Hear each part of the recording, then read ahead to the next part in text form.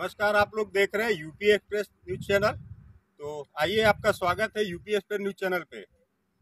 दर्शकों, आज मैं आपको बांदा जनपद, जो बुंदे, यूपी के बुंदेलखंड में जो बांदा जनपद आता है, बांदा जनपद के लास्ट में जहाँ से आपका एमपी बॉर्डर शुरू होता है, वहाँ पे लेके चलता हूँ और वहाँ की जो एक पोजीशन है और किसान किस तरह से यहाँ पे रहता है, कैसे गुजर बसर करता है वो सारी चीज़ें मैं आपको दिखाने की कोशिश करता हूँ।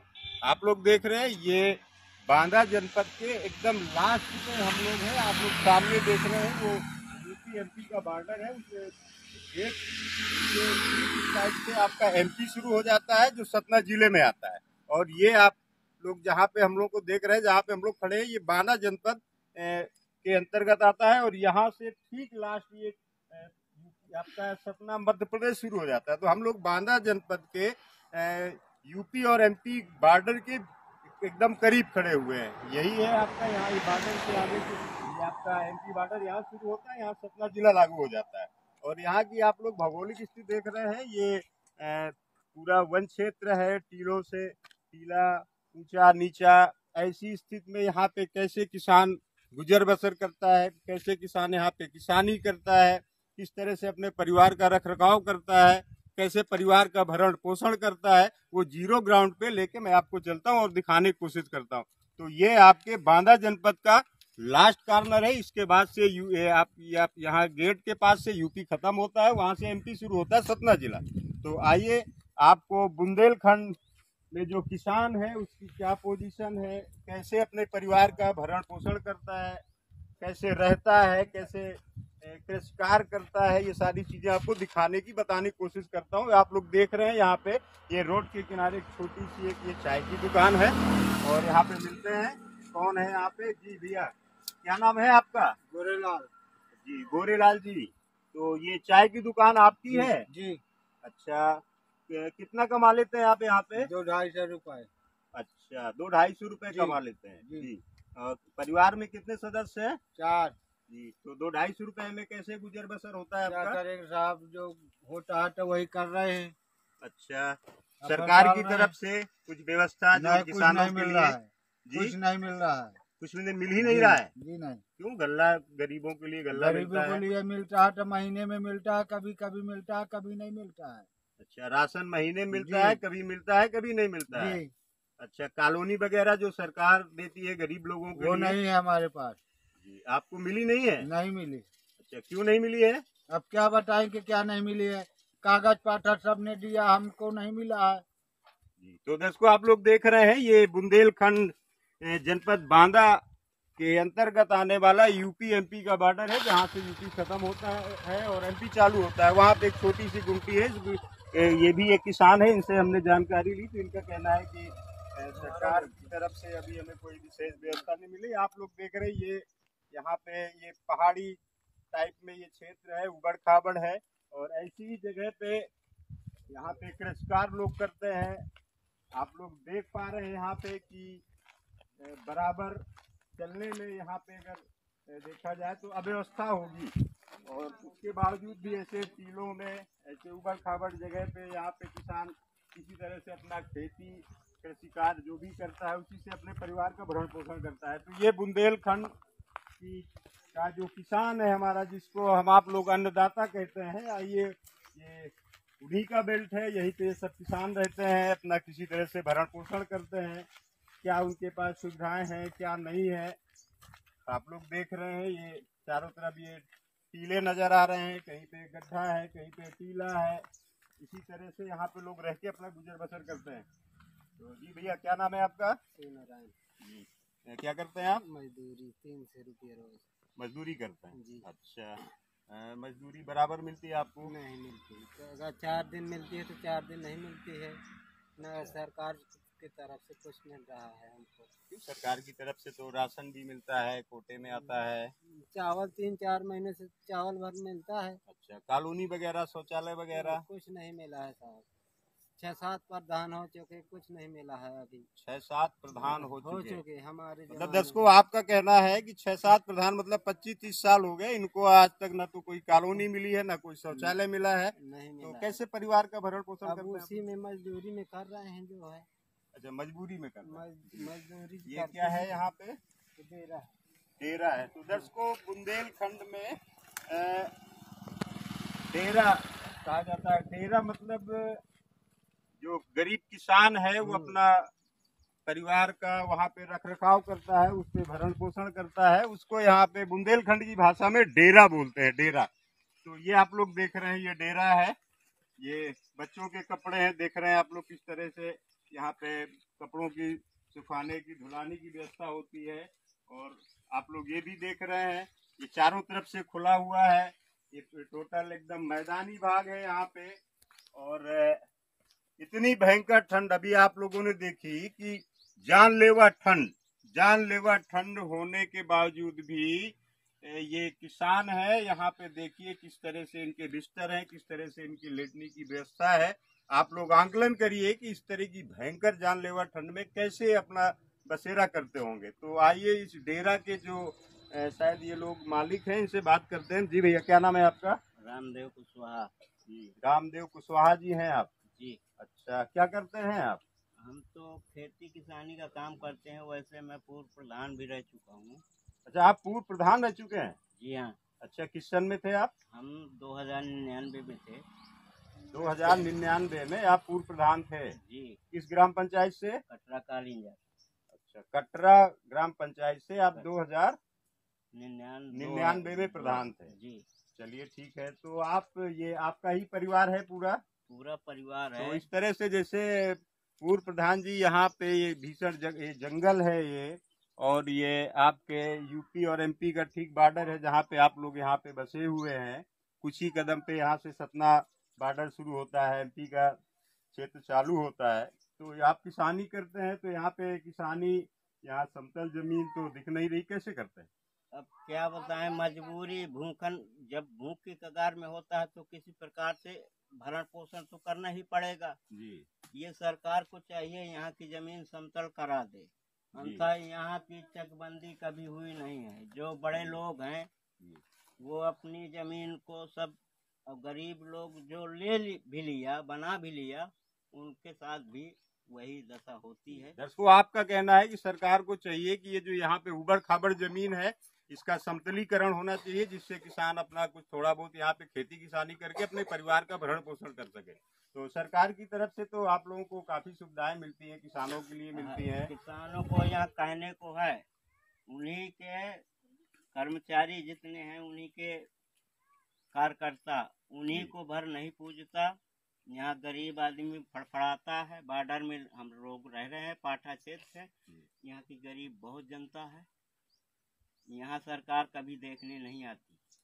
दर्शकों आप लोगों का कहना है कि सरकार के जो करीबी लोग होते हैं उन्हीं को पूरा नहीं पड़ता है। तो हम गरीब जनता के पास कहाँ आएगा? ये पाठा क्षेत्र है बॉर्डर है बॉर्डर पे लोग बसे हुए हैं और किसी तरह से अपना गुजर बसर यहाँ पे कर रहे हैं। आपको कॉलोनी वगैरह शौचालय वगैरह तो सरकार की तरफ़ से मिला होगा? कुछ नहीं मिला।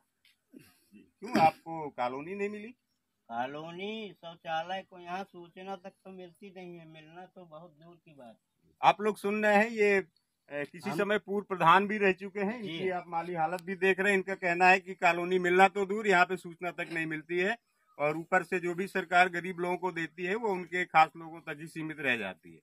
तो कैसे आप गुजर गुजर करते हैं? आप खेती आपकी खुद की खेती- है या बटिया की खेती करते हैं मज, अब मजदूरी का नाम महात्मा गांधी है कैसे पेट तो भरण किया जाएगा कैसे न कैसे पेट तो पाला ही जाएगा है ना? आपका कहना है मजबूरी का नाम महात्मा गांधी है। किसी न किसी तरह से हम हमको अपने परिवार का भरण पोषण तो करना ही करना है। जी तो यहाँ पे क्या जो आप कृषि कार्य करते हैं इस, इस क्षेत्र में तो यहाँ पे कोई समस्या होती है फ़सलों में या कोई इस तरह की क्या समस्या आपको सामने आती है? पाला भी लग जाता है। देखिए यहाँ समस्या तमाम है। पानी का कोई साधन था ही नहीं। ऊबड़ बड़ ज़मीन है अब सरकार है जैसा रहे- रखेगी वैसे रहेंगे। तो यहाँ पे फ़सल आप लोग कैसे सुरक्षित रखते हैं? अब मेहनत कर करके अब कैसे सुरक्षित करें? रात में देखिए तो रात में ये अन्ना प्रथा के जानवर हैं दिन में है तो बंदर हैं। हाँ? तो अब देखिए भाई अब भरना है पेट तो कैसो भरेंगे इनका पेट तो भरा जाएगा। दर्शकों आप लोग सुन रहे हैं ये किसी समय पे प्रधान भी रह चुके हैं पंचायत से। और उसके बाद भी इनकी क्या स्थिति है, आप लोग देख रहे हैं। आपका कहना है कि जो भी उबड़ खाबड़ ज़मीन है, उस पर कृषिकार करते हैं। पानी की कोई व्यवस्था नहीं है। पाठा पाठा जैसा क्षेत्र है ये। और उसके बाद भी रात में जानवरों से अपनी फ़सल को बचाने की कोशिश करते हैं। दिन में बंदरों से फ़सल बचाने की कोशिश करते हैं। और आपका कहना है कि जैसे भी है, परिवार को तो पालना है, पोसना है, आगे बढ़ाना है उसको। तो इसी इसमें देखिए, महिला है, इनसे भी बात करते हैं। जी, क्या नाम है आपका? रानी। अच्छा तो आप भी पूरे परिवार के साथ यहीं रहती हैं? सब बारह महीना यहीं पूरा परिवार सहित यहीं रहते हैं। अच्छा बारह महीने। तो जैसे इस समय इतनी भयंकर ठंड पड़ रही है तो जो घरों में लोग रहते हैं हम लोग रहते हैं वहाँ इतना बिस्तर सारी व्यवस्था होने के बाद भी ठंड का एहसास कम नहीं होता है। तो यहाँ तरह से कैसे इस तरह की भयंकर ठंड में आप लोग कैसे गुजारा कर लेते हैं? क्या कारण हम भैया? गुजारा तो कराएँगे परी अब जब यहाँ पेट पालो है बच्चा है सब कोई है तो अब यहाँ तो पेट पाला का परी यही ठंड में आगी जला कर रही था जितनी हाँ। जना ठंड सही है तो आगी तो जलाई था। क्या कारण? दस आप लोग सुन रहे हैं इनका कहना है कि पूरे परिवार सहित बारह महीने हम ऐसे जंगल में ये जो डेरा इस तरह का इसको बना के यहाँ पे अपने पूरे परिवार को रखते हैं। और अभी ठंड का ज़िक्र किया तो उनका कहना है कि जब तक ठंड बर्दाश्त होती है होती है, वरना उसके बाद लकड़ी में आग जला के, आग के सहारे हम लोग रात गुजारते हैं। तो ये बुंदेलखंड का जीता जागता विकास है जो आप लोग देख रहे हैं। एक तरफ़ तो डिजिटल जमाना है और ये डिजिटल जमाने की एक वानगी है जो यूपी एक्सप्रेस न्यूज़ चैनल के माध्यम से मैंने आप लोगों को दिखाने की कोशिश की। आप लोग देख रहे हैं ये छोटे छोटे बच्चे हैं। आप लोगों को दिखाया ये मैदानी भाग है। यहाँ पे कोई- हैं, एक बच्चा है। जी? पाँच बच्ची है एक बच्चा है। जी पाँच बच्ची एक बच्चा। हाँ। तो बच्चों को आप लोग पढ़ाते पढ़ाते नहीं है? कुछ साधना नहीं है अब यहाँ इनका खाना खिलावन कि पढ़ावन इतनी दूरी कहाँ स्कूल भेजा तो दर्शकों आप लोग सुन रहे हैं कि पाँच बच्चे हैं इनके खाने की अ, भरण पोषण की व्यवस्था करें कि पढ़ाने की व्यवस्था करें। तो आप लोग देख रहे हैं ये डिजिटल जमाने का दौर है इस दौर में ये बुंदेलखंड की एक ये भी कड़ी है ये भी एक समाज का हिस्सा है हमारे आपके और ये समाज जो है जो कल जिस पोजीशन में था उसी पोजीशन में आज भी है। ये आपका बांदा जनपद के जस्ट बॉर्डर में जहाँ से एमपी शुरू होता है बांदा जनपद का एरिया खत्म होता है उसी जगह पे हम लोगों ने आकर और आप लोगों को यहाँ पे दिखाया कि बुंदेलखंड बुंदेलखंड का विकास क्या है? सरकारें हैं वो गरीबों के लिए किसानों के लिए काफ़ी कुछ करने की कोशिश करते हैं बातें भी होती है लेकिन ज़ीरो पॉइंट पे हकीकत ये है। अभी आप लोगों ने देखा कि ये पूर्व प्रधान है किसी समय पे अपनी पंचायत के पूर्व प्रधान जी की ये पोजीशन है इन्हीं का शायद ये पूरा परिवार है। और आपका कहना भी है कि आज तक हमको कॉलोनी मिलना तो दूर उसका हमको मैसेज तक नहीं मिलता है। पाँच पाँच बच्चे आप लोगों ने सुना है महिला है इनका कहना है कि पाँच पाँच बच्चे हम उनकी खाने की व्यवस्था करें कि उनकी पढ़ाई की व्यवस्था करें। तो आप लोगों ने देखा ये पोजीशन है और मैं अपने कैमरामैन से कहना चाहूँगा कि थोड़ा इधर आकर भी दिखा दें कि ये जो बुंदेलखंड में इसको डेरा बोलते हैं जो एक, अपने किसान अपने रहने की जो व्यवस्था करता है किसी तरह से लोकल अरेंजमेंट करता है, उसको यहाँ पे डेरा के नाम से जाना जाता है। और यहाँ के यहाँ जो कृषि कार्य होता है, उसे कृषि कार्य की स्थिति क्या है, कैसी जमीनें हैं यहाँ पे, किस जमीनों पे, कैसे यहाँ पे कृषि कार्य किया जाता है, आप लोग देख रहे हैं कि इस तरह की ये जो ढलान है, आपको दिखाना चाहूँगा कि ये जो ढलान आप लोग देख रहे हैं, जहाँ से उतरना मुश्किल है। उसके बावजूद भी ऐसी जगह पे इन्होंने ये टमाटर लगा के रखे हुए हैं। ये आप लोग ज़मीन देख रहे हैं, जहाँ से चढ़ना, उतरना मुश्किल है। उसके बावजूद भी इस ज़मीन पे इन किसानों ने ये टमाटर लगाने की कोशिश की है और आप लोग देख रहे हैं कितनी मेहनत ऐसी ज़मीन पे जहाँ चलना, उतरना, बैठना मुश्किल है। उस जगह पे इन्होंने ये टमाटर लगाए हुए सिर्फ़ इस उम्मीद से इससे चार पैसा अर्जित होगा जो हम अपने बच्चों के लिए भरण पोषण की व्यवस्था करेंगे। ये ज़मीन आप लोग देख रहे हैं, टीला टूली, इसी पे सरसों बोए हुए हैं, कहीं पे कुछ बोया हुआ है, जो सिर्फ़ भगवान भरोसे है। कब, किस वक्त जानवर आएँगे, इसका नुकसान कर देंगे, ये कोई नहीं जानता। तो दर्शकों, देखा आप लोगों ने, ये बुंदेलखंड का जो विकास है, उसको ज़ीरो ग्राउंड पे लाकर दिखाने की कोशिश की। यही है आपका बुंदेलखंड। और बुंदेलखंड का जो विकास है जो ज़ीरो ग्राउंड पे है वो आप लोगों ने देखा। इसी किसी ये इनका डेरा है। यहाँ पे शायद ये ये जानवरों के लिए बनाया हुआ है आप लोगों ने? हाँ जानवर भी हैं हम लोग भी रहते हैं। अच्छा तो इनका कहना है कि इस साइड में हम लोग रहते हैं इस साइड में जो गाय बकरियाँ वगैरह है वो रात में यहाँ पे उनका बसेरा होता है विश्राम होता है। तो दर्शकों यूपी के बुंदेलखंड जनपद बांदा के लास्ट कार्नर में, बॉर्डर में, जहाँ से आपका एमपी शुरू होता है, वहाँ पे लेकर आकर मैंने आप लोगों को किसानों की जो एक अंदर की दर्द भरी जो जीवन की एक कड़ी है, उसको दिखाने की, उजागर करने की कोशिश की। एक तरफ़ डिजिटल जमाना है, एक तरफ़ विकास हो भी रहा है, लेकिन वो विकास की रफ्तार क्या है, वो विकास की रेंज क्या है, वो मैंने आपको दिखाई। इन लोगों का कहना है कि सरकार जो व्यवस्था करती है गरीबों के लिए, किसानों के लिए करती है, लेकिन हम तक नहीं पहुँच पाती। आखिर इसका जिम्मेदार कौन है? ये गरीब किसान कल भी ईश्वर के सहारे थे, आज भी ईश्वर के सहारे हैं। गरीब किसानों की ये जो दुर्दशा है, ये जो परेशानी है, ये क्यों है? इसका जिम्मेदार कौन है? ये सारी बातें घर में है तो मैंने आप लोगों को ज़ीरो ग्राउंड पे ले जाकर बुंदेलखंड के किसानों की समस्या को उठाने और दिखाने की कोशिश की। तो यूपी एक्सप्रेस न्यूज़ चैनल के साथ मैं ठाकुर राजेश सिंह तोमर, धन्यवाद। अगर आपको हमारी वीडियो पसंद आई तो हमारे चैनल को लाइक, कमेंट और सब्सक्राइब करना ना भूलें। Thank you.